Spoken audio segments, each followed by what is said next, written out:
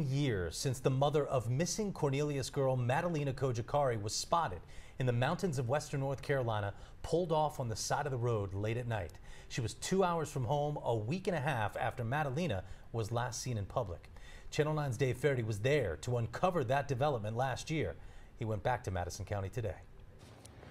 Well, it's 150 miles from Cornelius to Madison County. A lot of the folks I spoke with today tell me they haven't forgotten about Madalina or her mother, who was spotted here inside a car two and a half hours from her home.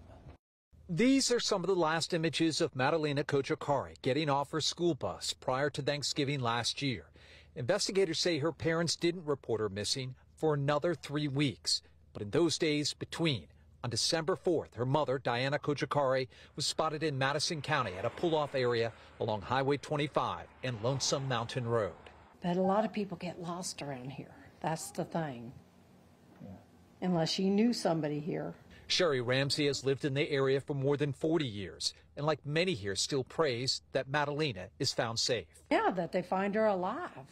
That's what we're all hoping. Deputies and the SBI searched the area near where Diana Cojocari was spotted in Madison County, even going door to door, sharing missing person flyers in late December. Johnny Moore posted one of the flyers at Lonesome Mountain Market.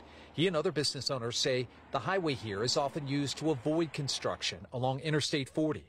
We checked with the NCDOT. There was construction on the interstate last year west of Asheville. At the time, Diana Cojocari was spotted here. They people come here and asked about if they'd ever found her, and I hope we find her. Hope we find her alive. And law enforcement says that Madalina Cojocari was not spotted inside the car at the pull-off here in Madison County. We checked with law enforcement over in Tennessee. They say they have not been contacted about this case. Reporting from Madison County, I'm Dave Faherty, Channel 9 Eyewitness News. Diana Cojocari and her husband are charged with failure to report the disappearance of a child. We have the full timeline of Madalina's case on our website right now. You can go there or grab your phone, open the WSOC app, and click continuing.